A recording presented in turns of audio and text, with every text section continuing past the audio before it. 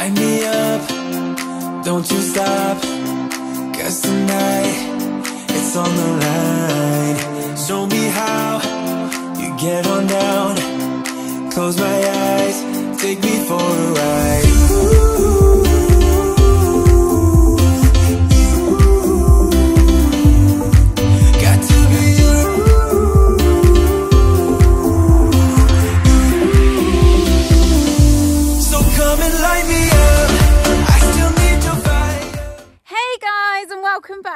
My channel for a dressage vlog. I feel like every vlog at the minute is like the first thing of 2021, isn't it? It's like first competition, first time for the lesson, and today is the first dressage competition.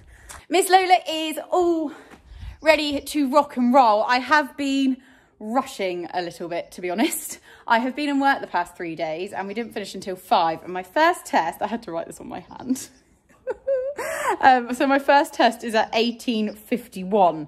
So really, it's actually quite a quick turnaround. The horses were out because I thought by lunchtime it would be too long for them to be in. So I had to get them in, get obviously her looking all smart and shiny again, which thankfully she's been out quite a few times recently, so it makes it all that much, all that bit easier. We're heading over to Chyverton Park. Again, it's held by our riding club Cornwall Trec, and they do a summer series. I did explain briefly at the end of my vlog that went live tonight. I don't know why I planned it to be today. Probably not the best day for it to go live, but hey ho, that's going to go live at six, which is literally probably like in 20 minutes I really need to get going. Come on, Miss Lola, let's get you in the box. I've just hitched up, the car is loaded, she's all ready, and I need to have a little bit of breathing time. So maybe I'll carry this on in the car, get her loaded, and then I can sort of do two birds, one stone. Picking up Chris again. I'm not sure what I've done right for Chris to be joining me so much recently, but uh, it's nice. And it's nice when it's the local ones that he's coming along because obviously once we start going further afield for BEs, then we don't tend to get them coming along all that often. So it's nice for them to be able to come out and about to the local ones. We may have been a little bit ambitious. We have entered two novice tests. I'm going to carry this on in the car because I am I'm not really concentrating and I'm really conscious that time is ticking and I need to get over there. Thankfully for dressage, it doesn't take that long to get ready, does it? It's only like saddle, bridle, um, and obviously I need to get changed. Uh, so yeah, let me get Miss Lola in the trailer and then I'll carry carry it on. Okay, I can relax a little bit now. We are on the road, just pulled out the drive. Miss Lola loaded straight away, so boom. I was meant to put makeup on as well and I haven't got that far, but that's not quite the priority, is it? Maybe if I do have enough time before my test, I will just pop on, you know, a layer of uh, hair mascara just for my lashes. Down there. Always down, checking the cows.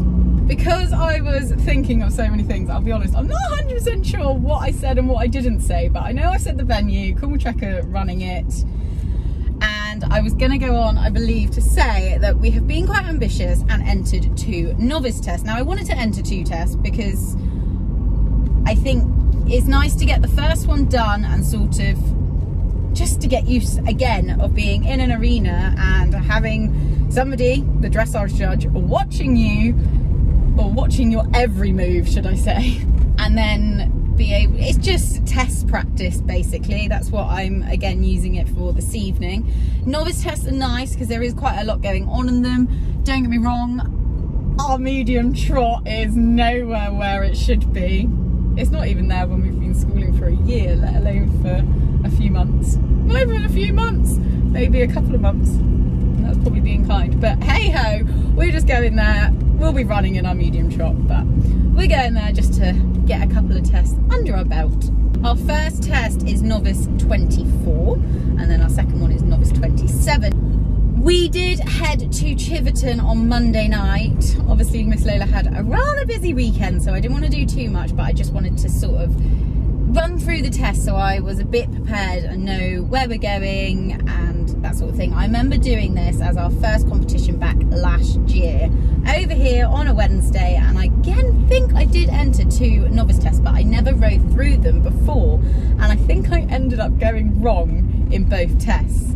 So I also had learned the first test for the last test. Does that make sense? So the test I had learned thinking I was riding it first, we were actually riding it second. So then that really confused me as well. So I am much more on it and prepared this time.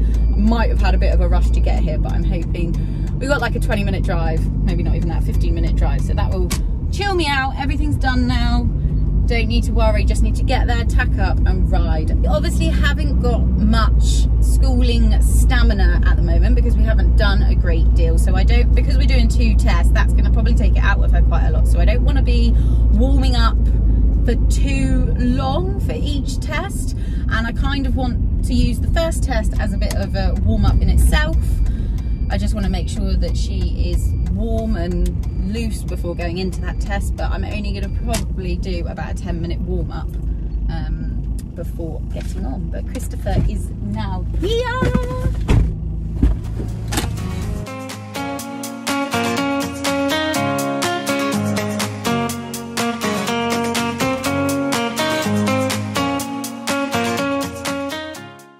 Boom, was in time to be able to put on some mascara feel alive, a little bit more alive now. Miss Lola is ready. It's absolutely freezing, not gonna lie. Just need to pop your bridle on. We've got 20 minutes till our test.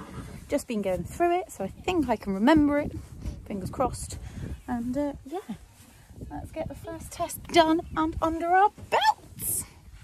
Like I haven't done a voiceover of dressage for quite some time, but considering I suppose we are quite far away from the arena, but hopefully it will make it a little bit clearer as I talk through the marks from the judge and how I'm feeling Lola is going. So we're just entering the arena for novice 24. Now Lola was feeling rather tense down this centre line, so she doesn't look too bad considering. And then just as I was preparing her for the turn, she went into canter, which as the judge said was a pity and she broke and we scored a four. Thankfully we got her back I got her back into trot quite quickly for a 10 metre loop, which we scored a 7 and was correctly shaped, which was nice to read, riding, making me feel like my riding is accurate. And then we do a half 20 metre circle to X, a walk transition over X, and then another half 20 metre circle left. So for the first half, we scored a 6.5, more fluency for a 7, which we obviously got then in our second half because we then scored a 7. And then straight away, same as we did on the other rein, we go back into a 10 metre loop. Now I'm quite pleased. She was feeling quite tense and I didn't feel like I could really... She wasn't very rideable. It was almost like this is the trot that I'm getting and this is all I'm getting. So I am pleased with her. And as I said, we scored a 7 for that. Then we had to do some medium trot strides, which I already knew that we weren't going to really get. And especially when I knew that I couldn't really put my leg on or rider like that. So we did score a 5 and there was no real difference. Then around for a walk transition to C and we will then be changing the rein, so we had to do medium walk all the way to the middle of the arena, which, to be fair, in most of our eventing tests, we're always like, and stretch across the diagonal, but I actually had to keep her all together, which I think she did quite well. Walk isn't our best gait, so I was chuffed. We scored a six for the medium walk. We were just slow to actually establish it, so that was our trot to walk transition. And then on the free walk, which this part is one of Lola's favourites. We scored a 7 with Promising Stretch.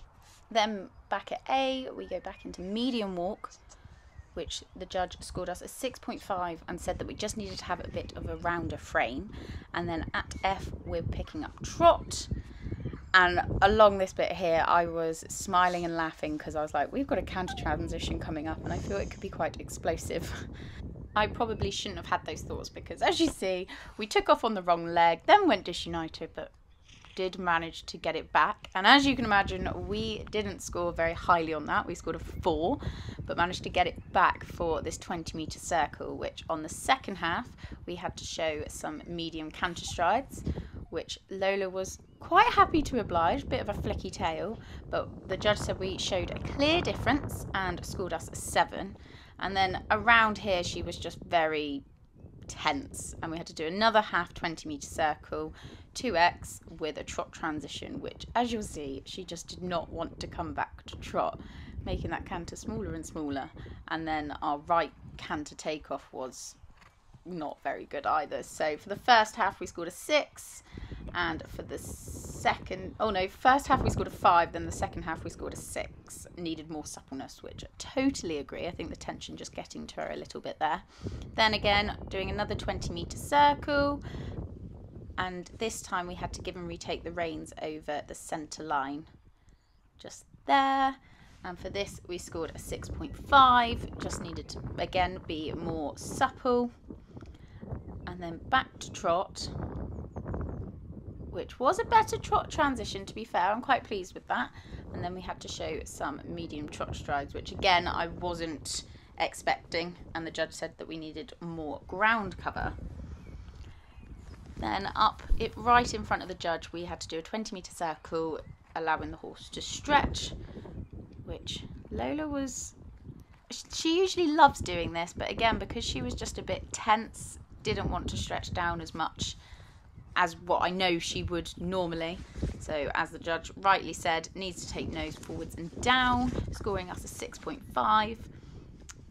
Picking her back up for a half 10 metre circle at E, and then halt and salute at G.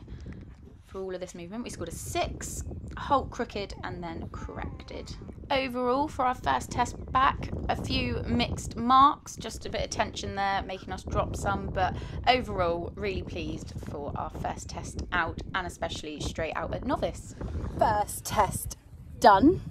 And as you've seen it was uh, very interesting. I reckon that we're going to probably have tents the whole way through maybe my warm up of only doing a short warm up for the first test wasn't maybe the best idea. Um, so we're going to go for a longer, slower warm up in our second test. I don't know whether maybe after all our jumping fun at the weekend, she's just a little bit tight in her hamstrings. So we're going to go for a nice, stretchy, long, low warm up. Um, and spend a little bit extra time in the warm up before our second test. I think Miss Lola was hoping that there were going to be jumps around the arena.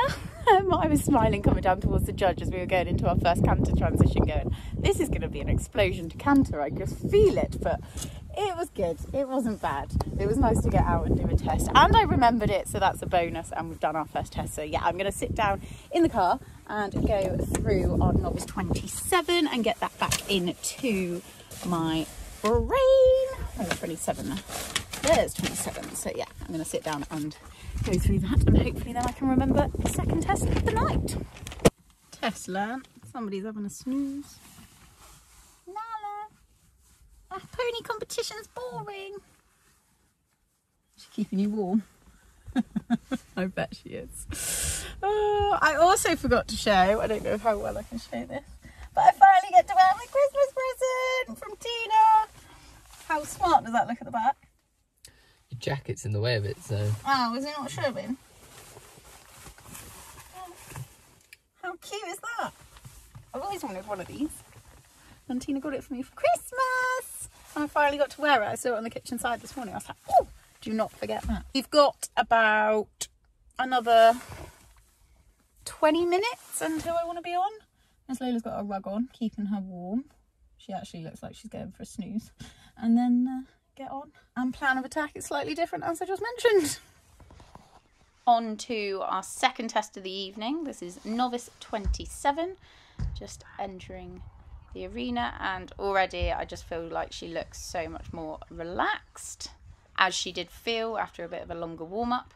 Turning left and we had no canter, woohoo! And the judge said that we had pleasing bend, C to H, scoring us a 7.5. Then at E, we go on to a 20 metre circle.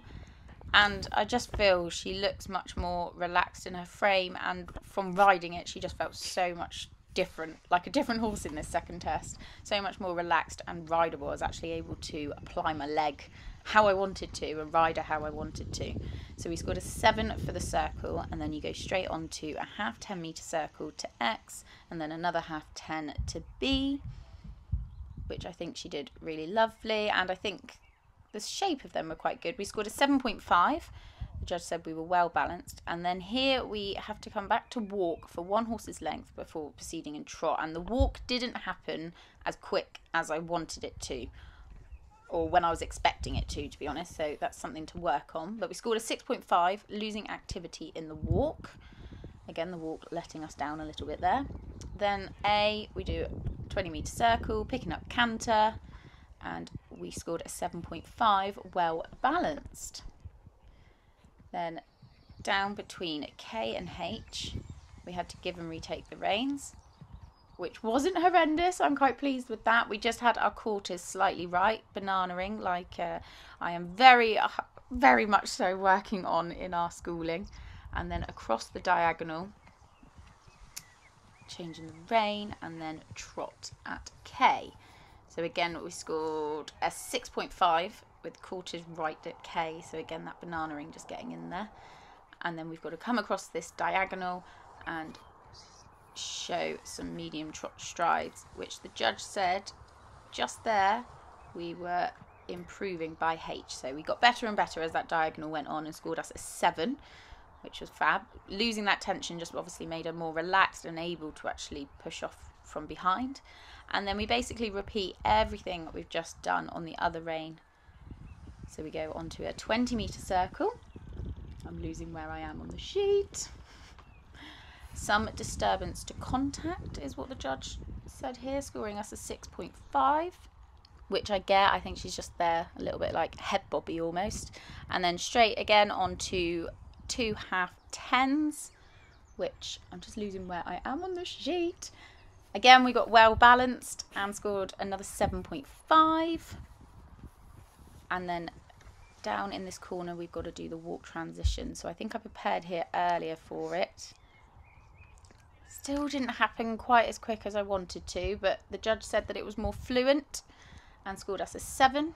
Then straight on to a 20 metre circle, again picking up canter at X.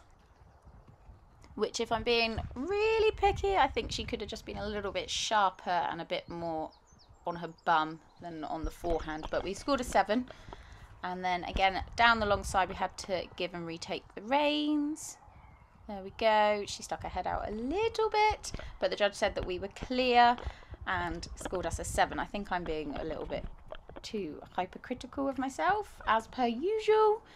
Then across the diagonal again, and as we had on the other rein, quarters left at F. But now I'm wondering whether maybe it's me riding that wrong because I've been doing a bit of counter canter in our schooling recently. So potentially that could have been my fault. So apologies, Lola. We scored a 6.5 for that. And then across the other diagonal, showing some medium trot strides, which to be honest, I'm quite pleased with that. I didn't think that was a too bad effort. Scoring a 6.5 and a comment of modest. So I will take that.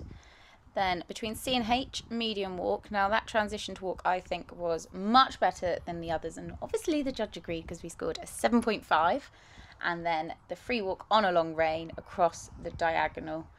And she was much more relaxed for this, much more able to go left leg, right leg, left leg, and the judge said pleasing swing, scoring us an eight, which was a double mark. Boom.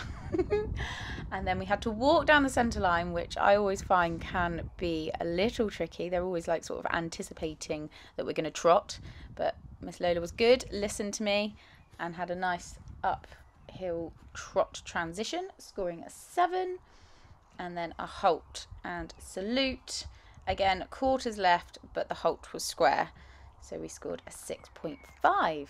A much more consistent test, much more relaxed and way more rideable. And then I've just left this little bit here roll because Chris and Nana made me giggle.